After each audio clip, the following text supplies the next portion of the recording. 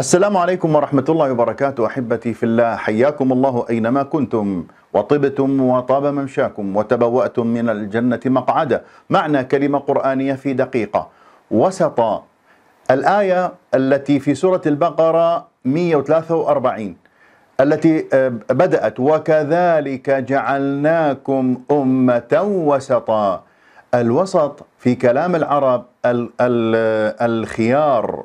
يعني بمعنى أعدلهم وأفضلهم وأخيرهم وليس المراد بها هنا ما كان بين شيئين متفاوتين. فانتبهوا أحبتي في الله لأنه أسمع الكثير من يفهم هذه الكلمة أنها وسط بين اثنين.